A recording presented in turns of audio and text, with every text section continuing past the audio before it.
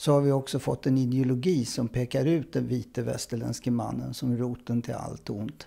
Ja, det är någon slags obegriplig självkastration alltså hos män. Kvinnor är i första hand inte samhällsbärare på samma sätt som män. Hur tror du att samhället skulle ha varit om, rent hypotetiskt, om det bara hade funnits kvinnor?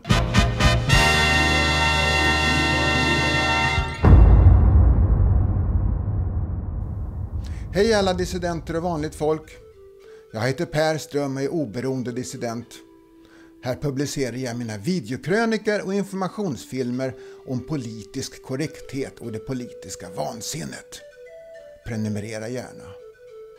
Och ifall du har lust att stödja kanalen ekonomiskt är det mycket uppskattat. Då har jag möjlighet att fortsätta göra filmer. Idag är jag på besök hos den legendariska samhällsdebattören och dissidenten Gunnar Sandelin för att prata om den vite mannen och hans situation. Gunnar, vad tycker du om attityden i dagens samhälle mot det som kallas den vite mannen? en rasande brist på uppskattning och en nästintill demonisering skulle jag vilja säga. Och det har ju varit så i stigande grad de senaste 50 åren att den vite mannen har blivit den stora syndabocken. Och nu när vi i vår moderna, postmoderna tid har fått postmodernism och intersektionalitet så har vi också fått en ideologi som pekar ut den vite västerländske mannen som roten till allt ont. Han är tuppen som står högst upp på den inter intersektionella gödselstacken och sprätter. Han ska ner och krossas. Han är, det är allt det här med att dela in människor i ras, klass, etnicitet, kön, funktionshinder och så vidare. Motsatsen till den vite västerländske mannen skulle väl kanske vara en lesbisk funktionshindrad utomeuropeisk invandrarkvinna som eh, skårar fullkomliga PK-poäng. Liksom.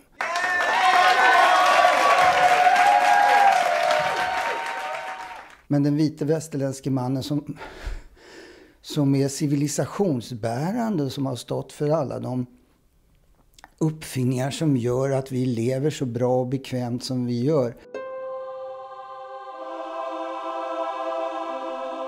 Han får bära hundhuvudet alltså, eh, rakt av.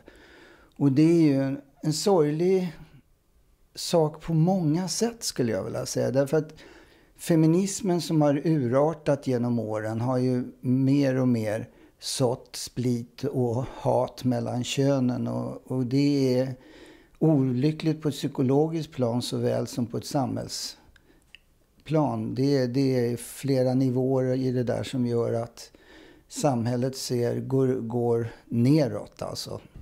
Ideologi. Den feministiska ideologin som var aktivistisk någon gång på 70-talet, slutet av 60-talet, mitten på 70-talet när jag var ung. Har gått den långa marschen genom institutionerna och nu är den, civil, nu är den alltså i, inne i statsapparaten på beslutande platser och har blivit ideologiskt. Det är en slags revolution uppifrån. Jag tror egentligen inte att de flesta män och kvinnor vill ha det på det här sättet. Att de vill ha en, en könskamp. Män hade ju för en tid sedan väldigt stor makt. Och ändå har det blivit så här. Varför har män låtit det ske, tror du? Ja, det är någon slags obegriplig självkastration alltså hos män. Jag, jag, jag, brukar ofta säga att jag tycker att män egentligen är det svagare könet. Att män är beroende av kvinnornas gunst och åtrå medan kvinnorna faktiskt på ett annat sätt kan avstå från män. Och männen blir livrädda för att bli övergivna från kvinnorna, livrädda att inte leva upp till deras förväntningar. Och eh, speciellt när det är orkestrerat ovanifrån då så blir det ju diktat. va. Och männen har fogat sig i det där. Så den vite västerländske mannen har visat sig vara för svag när det gäller att sätta ner foten och visa egen stolthet och, och manlighet helt enkelt. Per har skrivit tre böcker om genus och feminism. Det kommer information om dem i slutet av filmen. Hur tror du att samhället skulle ha varit om, rent hypotetiskt, om det bara hade funnits kvinnor? Ja, men då är det det där klassiska halvskämt, halvskämtet att vi skulle fortfarande sitta runt lägerelden och diskutera vem som skulle ut och jaga. Det hade ju inte gått med, med någon slags civilisationsbärande kraft in i samhället. Jag menar, det har ju varit sådana här dokusåp eller Robinson-såpor i jag tror att det var Nya Zeeland, Australien där man sätter kvinnor på en ö och män på en annan ö och ser vad som händer. Liksom. Och medan kvinnorna ligger och solar sig och blir loppbitna och, och, och hänger sig åt intriger så bygger männen upp en civilisation. Jag menar inte att förnedra kvinnor när jag säger det utan man har kvinnors kraft och vårdande i den lilla världen är oerhört viktigt. Men kvinnor är i första hand inte samhällsbärare på samma sätt som män. Sen finns det naturligtvis oerhört stora individuella skillnader inom varje population. Va? Jag har flera kvinnliga vänner som jag tycker är klart intelligentare än vad jag är. Och de har manliga hjärnor, säger de själva. Och de är emot den här utvecklingen, den här feministiska utvecklingen i samhället. Jag skrev en gång en kommentar till ett inlägg på Facebook som var ungefär så här att om det bara hade funnits kvinnor i världen, hypotetiskt, så hade vi fortfarande bott i grottor. Då tog Facebook bort kommentaren och jag blev avstängd på en vecka. Vad, vad säger du om det? Ja, hade det varit tvärtom, att man hade sagt någonting generellt eh, kritiskt eller till och med förklenande om män så hade Facebook aldrig tagit bort det. Utan det ingår ju i den här intersektionella postmodernistiska överideologin som vi har.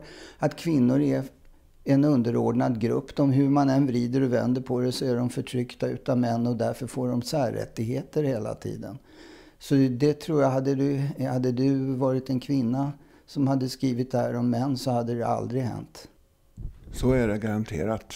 Ja, jo. jo men det är ju det är ju det vi måste kämpa för, att vi ska få en bättre balans mellan könen och där det inte går att bygga ett samhälle på att skuldbelägga den ena parten. Jag menar, och framförallt alla unga kvinnor som lanseras i media som står med händerna i höften och ser bestämda ut eller armarna i kors och ska liksom visa att de inte tar någon skit ungefär och som hela tiden är livsoerfarna och som redaktörer lanserar hela tiden för att de ska vara uppnosiga och, och uppstudsiga och tycka att män är ett sämre släkte. Det finns mycket av det alltså. Och det är möjligt att jag reagerar extra starkt på det eftersom jag blir äldre och tycker att det där är ingen bra framtidstro som man signalerar till ett samhälle. Utan man signalerar ju liksom till de unga männen att de ska ta sig i, i akt ungefär. Sara Larsson, artisten, hon skrev ju en gång att jag hatar, hatar, hatar män. Men det blev ingen reaktion på det. Nej, man kan säga precis vad som helst. Jag tänker på det. Sara Larsson ska vara tacksam att hon slipper bära bort sitt eget träck själv. Därför var det den vite västerländske mannen som uppfann vattenklosetten. Jag undrar om hon har tänkt den tanken en endaste gång. Hur stor andel tror du av de uppfinningar och, och, och finesser här i civilisationen så att säga som vi har som är uppfunna eller skapade av kvinnor? Ja, alltså om vi tar eh, kvinnliga nobelpristagare i fysik och kemi så är det ju bara 4 procent. Sen kan man ju säga att en bra bit in på 1900-talet så berodde det ju delvis på strukturella orsaker. Men en annan orsak som man pratar väldigt lite om det är ju hur IQ-kurvan ser ut. Den är ju en bell curve, alltså där, där det är på varsin ände 2% mest intelligenta är nästan uteslutande män och de dummaste också om det kan vara till någon feministisk tröst. Så det är ju inte konstigt att man får upp, stora uppfinnare och nobelpristagare som är män. Det tror jag inte man kan avfärda man kan med, med några strukturella förklaringar. Man kan delvis göra en viss förändring men det kommer alltid vara så att män är mer innovativa till sitt sinnelag när det gäller tekniska och sådana uppfinningar. Och, och också att de har, en liten, liten del har en högre IQ. Alltså. Det är många hjärnforskare som har konstaterat att det är väsentliga skillnader mellan mäns och kvinnors hjärnor. Mäns hjärnor är i genomsnitt mycket mer inriktade på tekniskt, logiskt, matematiskt och abstrakt tänkande medan kvinnors hjärnor är mer inriktade på känslor, människor och relationer. Vidare är män mer risktagande och tävlingsinriktade och bättre på att hårdfokusera på en sak i taget. Medan kvinnor är bättre på multitasking, alltså att hålla många bollar i luften samtidigt. De här skillnaderna gör att män som grupp är mycket mer inriktade än kvinnor på att uppfinna, konstruera, utforska och ge sig in i järva projekt. Jag tycker ju att det är en sorglig sak i vår samtid att den vite västerländske mannen inte uppskattas mer utav kvinnorna i västerlandet på det sättet. På, på hela slutet av 60, 70 och en bit in på 80-talet eh, så kommer jag ihåg det var ständiga kvinnodemonstrationer för jämställdhet. Men vem demonstrerar till förmån för den, för den vite västerländske mannen? Vem demonstrerar emot? Vilka kvinnor demonstrerar emot? Eh, araber, afrikaner, människor från Mellanöstern och, och Afrika och deras kvinnosyn. Det finns en överrepresentation inom dessa grupper på eh, drygt sex gånger när det gäller misstanke om våldtäkt enligt Brås senaste undersökning. Där, det är så märkligt att det händer inte. Där är det dödstyst från feministerna. Man kan ju konstatera att det finns ett utbrett hat mot den vite mannen. Varför finns det inget hat mot den svarte mannen? Den svarte mannen är under på den intersektionella skalan och anses vara förtryckt och då är han inte riktigt ansvarig för sina handlingar utan det är därför att han är illa behandlad utav vit västerländsk imperialism och vit västerländsk patriarkat. Det är en paketlösning så slipper man tänka själv.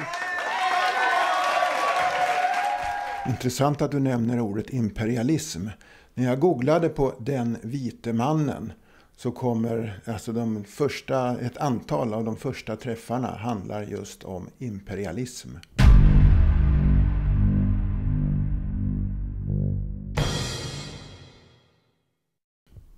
Jo, men det är en traditionell förklaring. Jag minns ju när jag var ung och man, det var, man demonstrerade mot USA-imperialismen och så. Och det var ju hela tiden en västerländsk företeelse. Man nämner aldrig några andra länders imperialism. Och man nämner heller inte det i de vita västerländska imperierna som också har varit kommit till godo de länder som, som har varit kolonier. Det har inte bara varit utsugning och plundring. Titta till exempel på vad som har hänt med Sydafrika efter avkolonial, avkolonialiseringen och se vad som har hänt med Singapore. Där ser man skillnaden alltså. Det, hur en befolkning skapar ett välstånd. Tror du att hatet mot den vite mannen kommer att försvinna? Jag hoppas det. Jag tror när vi går mot, som det ser ut nu, sämre tider så tror jag också att allt fler kvinnor inser att de behöver den vite västerländske mannen.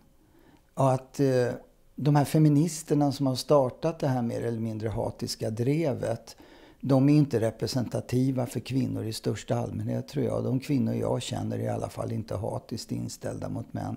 Så jag tror att om de berövas en hel del av deras influenser som de har i media och inom, som opinionsbildare och även inom politik och universitet. Det måste gå den vägen. va. Så, så tror jag att vanliga sunda människor eh, och vanliga kvinnors sunda förnuft kommer att segra på längre sikt. Men man vet ju aldrig. Hur tror du att det känns för unga killar att växa upp i ett samhälle präglat av manshat? Alltså det är ju en osäkerhet på den egna manliga identiteten som blir ännu mer utsatt för vissa grupper. Om vi tar de här incelgrupperna, alltså uh, unga män som aldrig haft en kvinna i sitt liv så blir de ju till och med hånade när de blottar sin misär och visar hur, hur dåligt de mår. Då är det deras eget fel och man ska inte dalta och tycka synd om dem. Det är, det är omänskligt. Va? De här killarna behöver ju styrka och medkänsla och, och, positiva manliga förebilder. Och där har Jordan Peterson gjort ett fantastiskt jobb med just den gruppen unga män som är vilsna i tillvaron. För det finns en väldigt stark längtan efter en tillhörighet för, för de här männen och få ett meningsfullt liv. De är inte några gubbslem i vardande så att säga. Va? Utan de, de är människor av kött och blod som man ska respektera och ta på allvar. Om incels hade varit kvinnor, tror du att föraktet mot incels hade varit lika stort då? Då tror jag media hade fullt upp att göra med att göra reportage om hur illa de här kvinnorna var behandlade utav sina unga, jäm, unga manliga klasskamrater och, och så vidare. Och vi hade fått det ena reportaget efter det andra som handlade om, om hur patriarkatet måste krossas, att det fortfarande lever och det är fortfarande unkna värderingar och det är fortfarande kvinnoförakt och så vidare. Så att eh, då hade det varit ett helt annat ljud i skällan. Det finns ett utbrett manshat och kvinnor hyllas och kvoteras fram. Vad säger du om jag säger att vi lever i ett matriarkat, alltså ett kvinnovälde? Jag tycker att du väldigt mycket har rätt i det. Och jag tänker ofta på, jag kallar dem värdegrundskvinnor, de här kvinnorna som finns inom offentliga förvaltningar överallt, som talar om att vi ska följa värdegrunden och som är trogna och så att säga eh, dominerar mycket utav, utav det offentliga utrymmet. Och jag menar, Tittar jag på Rapport eller Aktuellt så tycker jag ofta att det kunde heta från en kvinna till en annan. Det är kvinnor, kvinnor, kvinnor. Kvinnlig idrott kommer före manlig idrott i sportsändningarna många gånger. Det är liksom... Det är, det är ett matriarkat, ja. På sätt och vis är det ju det. Jag tycker jag ger i alla fall delvis rätt där. Alltså det faller på sin egen orimlighet att utmåla män som några renodlade förtryckare. För män lever kortare tid än kvinnor. Män begår i mycket större utsträckning självmord än kvinnor. Kvinnor tar initiativ till skilsmässor. Män super ner sig. Nästan alla arbetsplatsolyckor som har allvarlig eller dödlig utgång drabbar män. Män döms till strängare straff för likartade brott som kvinnor gör. Kvinnor dominerar till ungefär två tredjedelar på högskole och universitetsutbildningen. Så att, att säga att vi lever i ett patriarkat när ett samhälle ser ut på det sättet, det, det är magstarkt alltså.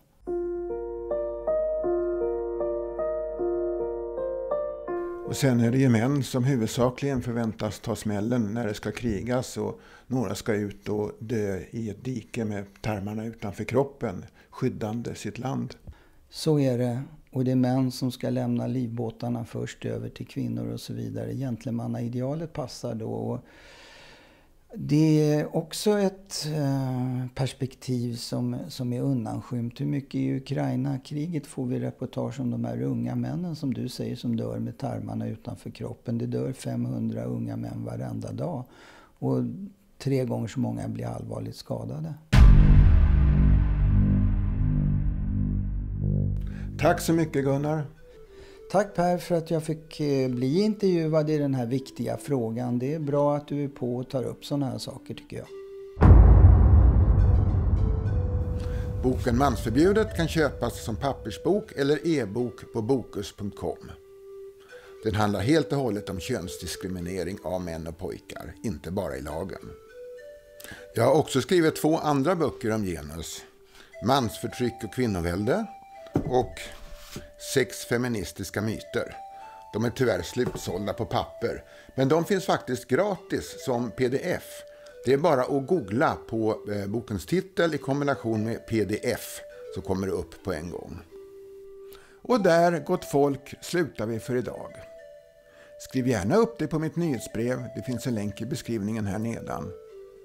Och om du har lust att stödja kanalen ekonomiskt så går det till kampen. För kampen går vidare. Nu fan räcker det!